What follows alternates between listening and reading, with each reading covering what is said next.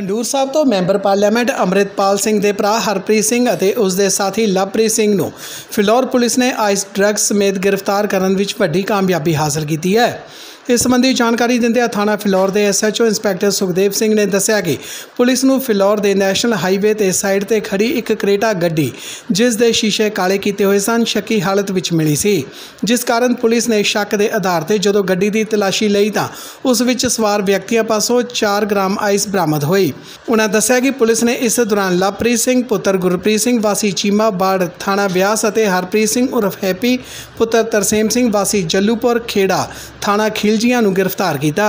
ਜਿਨ੍ਹਾਂ ਕੋਲੋਂ 4 gram ice weighing scale lighter ਆਦਿ ਸਮਾਨ ਬਰਾਮਦ ਹੋਇਆ। ਉਹਨਾਂ ਅੱਗੇ ਦੱਸਿਆ ਕਿ ਇਹ ਲੁਧਿਆਣਾ ਦੇ ਰਹਿਣ ਵਾਲੇ ਸੰਦੀਪ ਅਰੋੜਾ ਨਾਂ ਦੇ ਵਿਅਕਤੀ ਕੋਲੋਂ ਨਸ਼ਾ ਲੈ ਕੇ ਆਏ ਸਨ ਤੇ ਉਸ ਨੂੰ ਬਕਾਇਦਾ ਪੇਟੀਐਮ ਰਾਹੀਂ 10000 ਰੁਪਏ ਵੀ ਟ੍ਰਾਂਸਫਰ ਕੀਤੇ ਸਨ। ਉਹਨਾਂ ਕਿਹਾ ਕਿ ਪੁਲਿਸ ਨੇ ਸੰਦੀਪ ਅਰੋੜਾ ਨੂੰ ਵੀ ਗ੍ਰਿਫਤਾਰ ਕਰ ਲਿਆ ਹੈ, ਜਿਨ੍ਹਾਂ ਖਿਲਾਫ ਪੁਲਿਸ ਨੇ ਮਾਮਲਾ ਦਰਜ ਕਰ ਅਗਲੀ ਕਾਰਵਾਈ ਸ਼ੁਰੂ ਕਰ ਦਿੱਤੀ ਹੈ। ਜੋ ਨਾਲ ਮੇਰੀ ਪੁਲਿਸ ਪਾਰਟੀ ਸਰਕਾਰੀ ਗੱਡੀ ਤੇ ਅਸੀਂ ਸ਼ਾਮ ਵੇਲੇ ਰੁਟੀਨ ਦੀ ਗਸ਼ਤ ਕਰ ਰਹੇ ਸੀ ਜਦੋਂ ਅਸੀਂ ਹਾਈਵੇ ਫਲੋਰ ਤੋਂ ਜੋ ਮਿਲਟਰੀ ਕੈਂਪ ਦੇ ਸਾਹਮਣੇ ਖੱਬੀ ਸਾਈਡ ਦੇ ਉੱਤੇ ਜਿੱਥੇ ਇੱਕ ਕ੍ਰੇਟਾ ਗੱਡੀ ਵਾਈਟ ਕਲਰ ਜੋ ਸ਼ੱਕੀ ਹਾਲਤ ਵਿੱਚ ਖੜੀ ਸੀ, ਜਿਸ ਤੇ ਅਸੀਂ ਗੱਡੀ ਰੋਕ ਕੇ ਉਸ ਨੂੰ ਰੂਟੀਨ ਦੀ ਚੈਕਿੰਗ ਦੇ ਵਿੱਚ ਚੈੱਕ ਕੀਤਾ, ਜਿਸ ਨੇ ਸਾਈਡ ਜੋ ਵਿੰਡੋ ਸੀ, ਉਹਨਾਂ ਦੇ ਸ਼ੀਸ਼ਿਆਂ ਨੂੰ ਵੀ ਬਲੈਕ ਜਾਲੀਆਂ ਲੱਗੀਆਂ ਹੋਈਆਂ ਸੀ, ਵਿੰਡ ਜੋ ਸ਼ੀਸ਼ਾ ਸੀ ਉਹਨੂੰ ਵੀ ਕਵਰ ਕੀਤਾ ਹੋਇਆ ਸੀ ਅੰਦਰ ਬਾਹਰੋਂ, ਪਿਛਲੇ ਸ਼ੀਸ਼ੇ ਨੂੰ ਵੀ, ਜਿਸ ਤੇ ਸਾਨੂੰ ਸ਼ੱਕ ਪਈ ਤਾਂ ਅਸੀਂ ਬਾਰੀ ਖੋਲ ਕੇ ਚੈੱਕ ਕਰਨ ਲੱਗੇ। ਤਾਂ ਉਸ ਦੇ ਵਿੱਚੋਂ ਦੋ ਨੌਜਵਾਨ ਬੈਠੇ ਸੀ ਜੋ ਕੋਈ ਚੀਜ਼ ਦਾ ਕੁਝ ਸੇਵਨ ਕਰ ਰਹੇ ਸੀ, ਜਿਨ੍ਹਾਂ ਯਕਦਮ ਕੋਈ ਆਪਣੇ ਹੱਥਾਂ 'ਚ ਫੜੀਆਂ ਚੀਜ਼ਾਂ, ਆਪਣੀਆਂ ਸੀਟਾਂ ਹੇਠਾਂ ਲਗਾਉਣੀਆਂ ਛਪਾਉਣੀਆਂ ਸ਼ੁਰੂ ਕੀਤੀਆਂ। ਜਿਸ ਤੇ ਅਸੀਂ ਮੌਕਾ ਪਰ DSP sahib, Shri Sarwanjit Singh sub division Phillaur ਨੂੰ ਬੁਲਾਇਆ। ਜਿਨ੍ਹਾਂ ਦੇ ਦੌਰਾਨ ਅਸੀਂ ਜੋ ਉਹਨਾਂ ਨੂੰ ਆਪਣੀ ਤਲਾਸ਼ੀ ਕਰਨ ਤੇ ਬਾਰੇ ਜੋ ਕਾਨੂੰਨੀ ਰਾਈਟ ਪ੍ਰਾਪਤ ਹੈ ਉਹਦੇ ਬਾਰੇ ਜਾਣੂ ਕਰਵਾਇਆ। ਉਹਨਾਂ ਦੀ ਨਿਗਰਾਨੀ ਹੇਠ ਜੋ ਇਹਨਾਂ ਦੀ ਤਲਾਸ਼ੀ ਕੀਤੀ ਗਈ, ਤਾਂ ਇੱਕ ਨੌਜਵਾਨ ਜਿਸ ਨੇ ਆਪਣਾ ਨਾਮ Harpreet Singh happy son of Tarsem Singh, ਵਾਸੀ ਪਿੰਡ ਜੱਲੂ ਖੇੜਾ, ਜੱਲੂਪੁਰ ਖੇੜਾ, ਥਾਣਾ ਖਿਲਚੀਆਂ, ਜ਼ਿਲ੍ਹਾ ਅੰਮ੍ਰਿਤਸਰ ਦੱਸਿਆ। ਅਤੇ ਦੂਜਾ ਜੋ ਡਰਾਈਵਰ ਸੀਟ ਤੇ ਬੈਠਾ ਸੀ ਉਸ ਨੇ ਆਪਣਾ ਨਾਮ ਲਵਪ੍ਰੀਤ ਸਿੰਘ, ਉਰਫ love son of Gurpreet Singh, ਵਾਸੀ ਪਿੰਡ ਚੀਮਾਵਾਟ ਥਾਣਾ ਬਿਆਸ ਜ਼ਿਲ੍ਹਾ ਅੰਮ੍ਰਿਤਸਰ ਦੱਸਿਆ, ਜੋ ਇਹਨਾਂ ਦੀ ਤਲਾਸ਼ੀ ਕਰਨ ਤੇ ਜੋ ਹਰਪ੍ਰੀਤ ਸਿੰਘ ਹੈਪੀ ਆ, ਉਸ ਦੀ ਪਜਾਮੇ ਦੀ ਜੇਬ ਦੇ ਵਿੱਚੋਂ ਇੱਕ ਪੋਲੀਥਨ ਜੋ ਪਾਰਦਰਸ਼ੀ ਸੀ, ਉਸ ਵਿੱਚੋਂ ਵਾਈਟ ਕਲਰ ਦਾ ਨਸ਼ੀਲਾ ਪਦਾਰਥ ਬਰਾਮਦ ਹੋਇਆ, ਜਿਸ ਨੂੰ ਉਹਨਾਂ ਉੱਥੇ ਮੌਕੇ ਤੇ ਕੰਡੇ ਤੇ ਤੋਲਿਆ ਗਿਆ, ਜੋ 4 ਗ੍ਰਾਮ ਹੋਇਆ।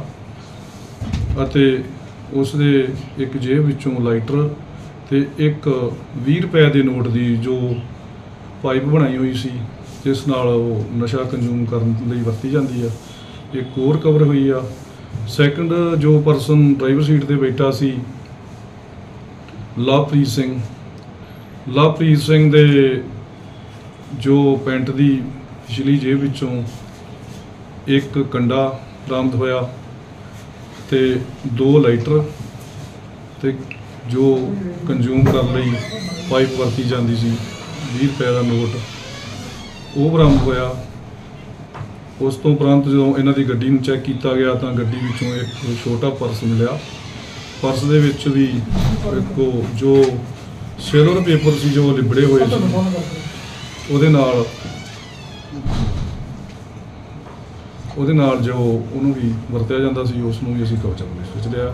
ਇਹਨਾਂ ਦੇ ਬਰਖਲਾਫ ਅਸੀਂ ਮੁਕੱਦਮਾ ਨੰਬਰ 192 ਮਿਤੀ 12 7 2024 ਅੰਡਰ ਸੈਕਸ਼ਨ 22 27